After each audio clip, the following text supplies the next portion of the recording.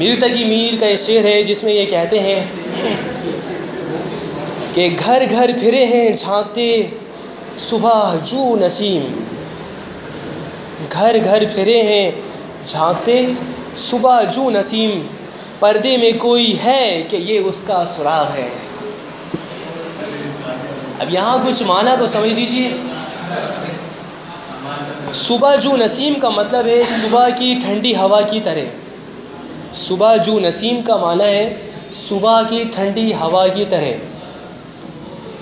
और सुराख तो आप जानते हैं, तलाश को कहा जाता है इन्वेस्टिगेशन को कहा जाता है। जासूसी करने को भी कहा जाता है।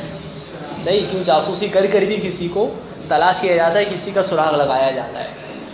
अब यहाँ पर देखने के काबिल है एक चीज़, और समझने के काबिल एक चीज़, कि हर शख्स किसी चीज़ को देखता है तो अपनी निगाह से देखता है। अगर साइंटिस्ट किसी चीज़ को देखता है तो साइंस की निगाह से देखता है।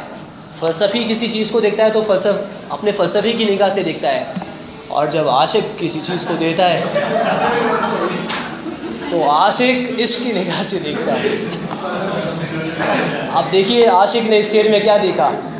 कहते हैं कि घर घर फिरे हैं, झांकते सुबह जो नसीम। पर्दे में कोई है कि ये उसका सुराग है।